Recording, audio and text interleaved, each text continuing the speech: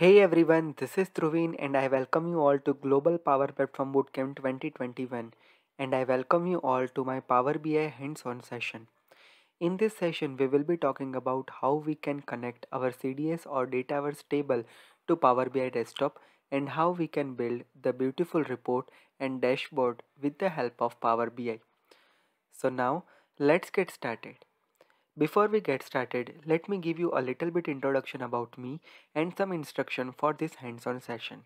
Myself Dhruvin Shah and I am working as Power Platform Specialist and Microsoft 365 developer in one of the reputed company at Gujarat Ahmedabad. I am an active blogger and YouTuber having published 120 plus article and 480 plus tech videos on my channel. You can follow me on all my social media handles. The links are available in the description box of this video. Also, you can simply click on this link. It will be redirecting you to this page. Here you can follow me on my YouTube, LinkedIn, blogs, Twitter, Facebook and GitHub repository. Now, let me give you a little bit instruction about this hands-on. Before you get started, first of all, you need to install Power BI Desktop in your machine. So just go to the prerequisites section and download the Power BI Desktop with the provided link. And you should have active Microsoft 365 account or Power BI trial activated in your tenant. These are two different prerequisites that you should have. Now, one more important thing. The hands-on that I am representing you on the screen at this moment as well as the sample Power BI desktop file that we are going to prepare at the end of the session will be uploaded on my GitHub repository. The links are available at the very bottom of the hands-on as well as in the description box. So download everything from there. Now let's get started with our actual session agenda with connecting the CDS or Dataverse table with Power BI desktop. One more important thing. Hope you attended our earlier session for Power Apps with Dataverse and you have already created that Dataverse table schema over there. If you missed that session, don't worry, I will provide you the steps for creating the CDS or Dataverse table over here. But you already prepared the Dataverse schema or table schema, then you can directly connect it to the Power BI desktop.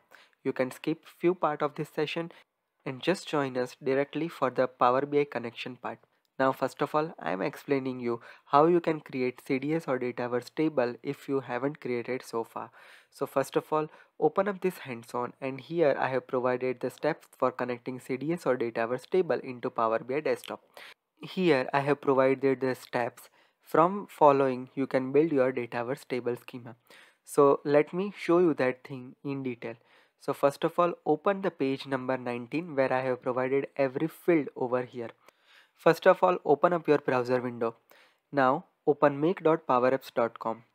Go to the data section and click on tables.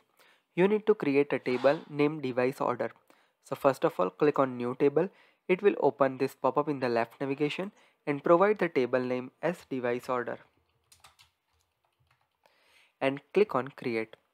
I already created that, so I'm just clicking on close. Once you create your table, it will appear into table section. Just click on your table name. Now we need to prepare the table schema.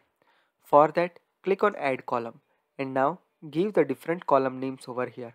Just open the hands-on that I provided. Here all the column names are mentioned. So let's say if you want to create the device name column with data type text, you just need to copy the column name and provide its data type as text and click on done. Similar way, you need to create all the columns. The data type as well as column name is provided here. Once you create all the columns, it will appear under the column section. Now, if you want to check that how many columns you have created, then from here you just need to filter out by custom. So that will show you all the custom columns that has been created by you. So hope so far you are good with me. You have created your CDS or Dataverse table successfully. Now it's time to connect our CDS or Dataverse table with your Power BI desktop. Go to the setting here and click on advanced settings. It will redirecting you to Dynamics 365 Business Management. Now from here you just need to copy this URL because this is something that you are going to use while connecting your Power BI desktop. Let's copy that now open your Power BI desktop. For that, go to the Start menu and search for the Power BI. And let's open up the Power BI desktop. At the end of the video, we will be able to create this type of report. Now, first of all, let me give you the overall idea about the schema that we are going to use over here. So basically, this is the device order schema where let's say user want to request different types of devices. Now, those devices will go through the approval process. The approval will reject or approve the device. Upon successful approval, user will be able to use the device that they have requested. Now, let's get started with building the report development. So first of all, let's say we wanted to have one year filter on our report page. So let's add one slicer from here and let's search for the created date over here. So let's search for created on and now let's drag the year field and here you will be able to see that the slicer has been prepared.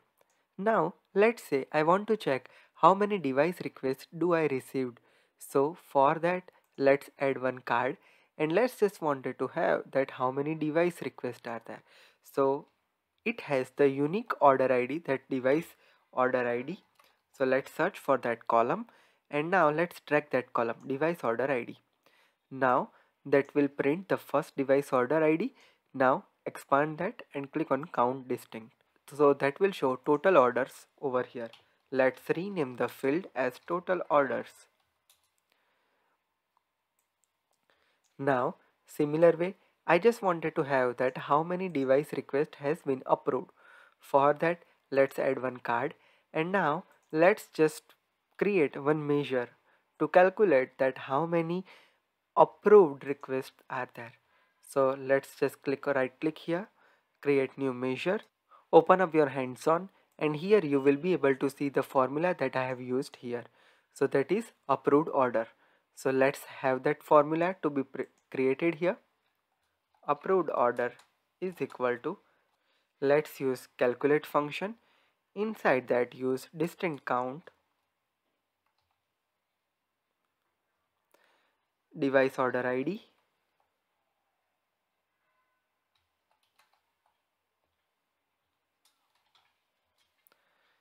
then we just need to have one filter function where status is equal to approved. Approval status display is equal to approve.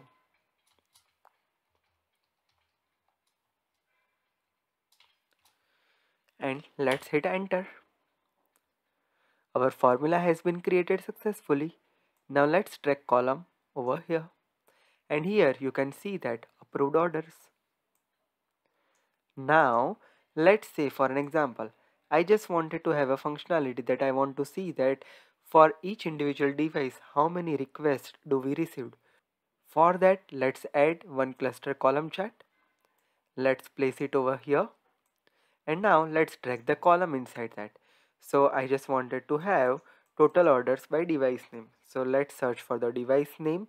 So that is available here. Let's drag it to axis. And let's say how many requests do we received. So uh, we just wanted to have the device order id count. So let's search for device order id and we just wanted to add it to value and let's have it to count distinct. Now let's rename this field. Total order.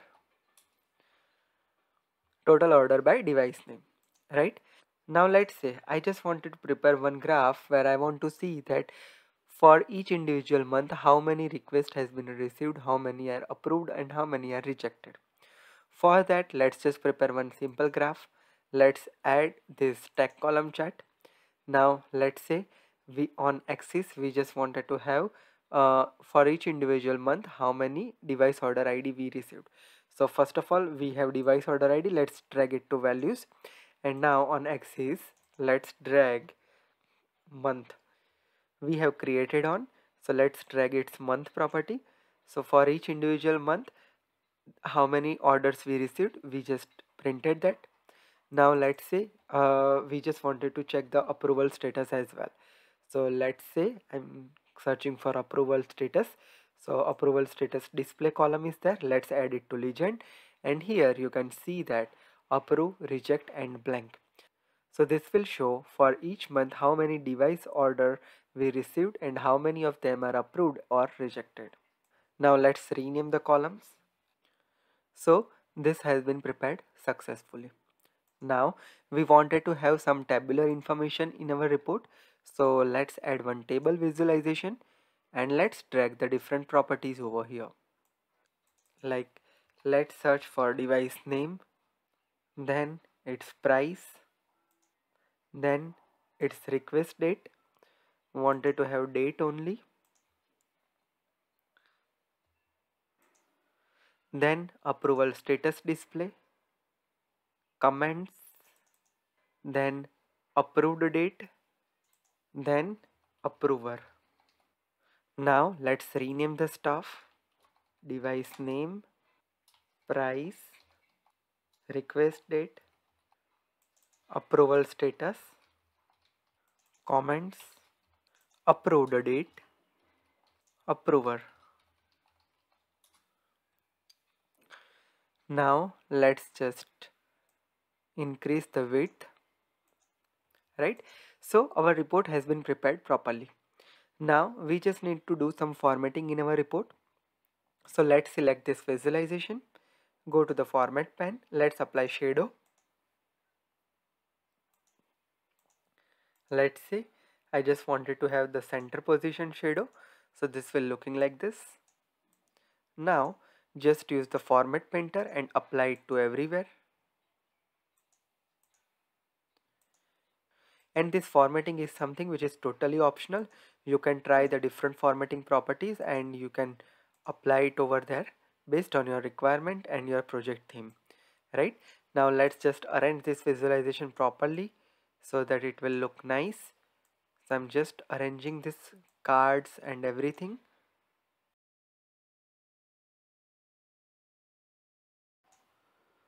And then arrange the then format the table a little bit.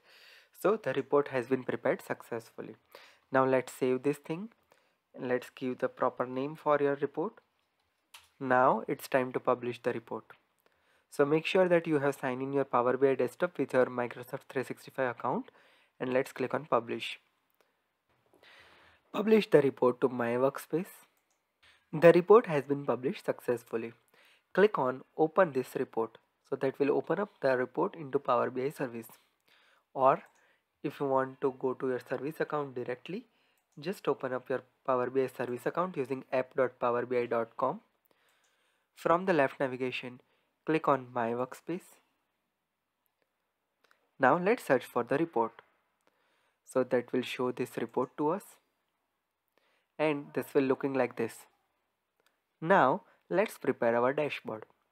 Let's say I just wanted to have this particular visualization in the dashboard. So let's pin this visual. And now let's create a new dashboard. As my dashboard name should be GPPB YT and let's pin this visual. So that has added over there. Similar way let's say I want to add this table as well. So let's pin that. And let's add to our existing dashboard that is GPPB YT and pin it. And now let's click on go to dashboard. So here you can see that the dashboard has been prepared successfully. So this is how we can easily prepare our Power BI report and dashboard in Power BI desktop. Hope this is clear for you now. So here we have completed our entire hands-on in detail. Now, if you have any question, you can directly reach out to me at dhruvinshah16 at gmail.com or you can connect me on any of my social media handles. The files that I have shown you are available in my GitHub repository. You can directly download everything from there. If you are for the first time to my channel, make sure you hit subscribe and press the bell notification to never miss any updates from my channel. Stay connected with me on Facebook, LinkedIn, Twitter and WhatsApp. Also, if you are interested to listen different Power Platform related audiogram, you can just click on this link. This will redirect you to my podcast homepage. From here, you can listen your favorite Power Platform podcast on your favorite podcast platform like Google Podcast, Apple Podcast, Spotify, and much more. Also, if you are interested to learning on Instagram, here is the Insta ID from me. You can follow me on the Power Platform Guy on Instagram and listen and learn different concept of Power Platform over there. If you are interested to listen different short video related Power Platform, here is a separate channel called Digital Dhruvin. Subscribe that channel as well and show your love over there. This is Dhruvin signing off. See you in the next session. Have a great day. Goodbye.